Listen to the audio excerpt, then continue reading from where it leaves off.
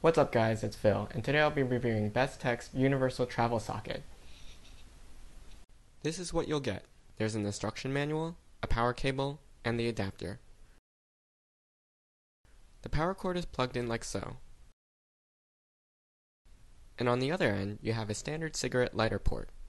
What this device enables you to do is take any one of your adapters that plugs into your car's cigarette lighter and adapt it to a wall outlet.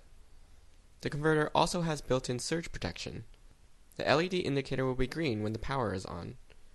As an FYI, it will be flashing if there's an overload or short circuit.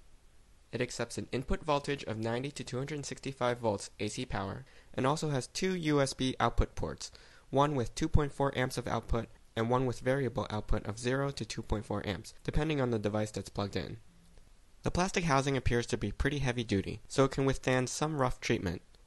It's a bit heavy at 13 ounces, so it's not something I would consider carrying around with me, but rather stow in the glove box for emergencies. For me, this device has limited uses, since all of my adapters these days are USB cables, and I have few, if any, dedicated car chargers.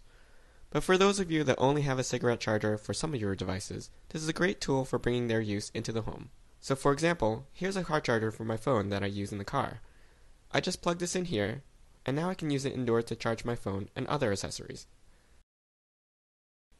One thing to be careful of is that this adapter will heat up when in operation, so please make sure it has plenty of ventilation and isn't situated on flammable fabrics like a rug or sofa. I hope you enjoyed this review, and join me next time.